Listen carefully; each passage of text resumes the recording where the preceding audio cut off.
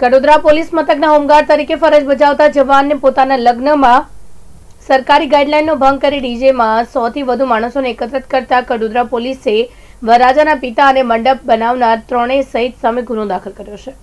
વલસાડા તાલુકાના ચલથાણ ગામના લક્ષ્મીનગરમાં રહેતા અને કડોદરા પોલીસ મથક વિસ્તારમાં હોમગાર્ડ તરીકે ફરજ બજાવતા ઉમેશ પાટીલના લગ્ન હોવાથી તેના પિતા રમેશ સાહેબરાવ પાટીલે ડીજેનું આયોજન કર્યું હતું. આ ડીજેમાં સોથી વધુ માણસો એકત્ર થયા હતા. તમામ વ્યક્તિઓ ડીજેના તાલે ઝૂમી રહ્યા હોય સોશિયલ ડિસ્ટન્સ જળવાતું નહોતું, જેનો વીડિયો સોશિયલ મીડિયામાં વાયરલ થતા મામલો કડોદરા પોલીસ મથકે પહોંચ્યો હતો.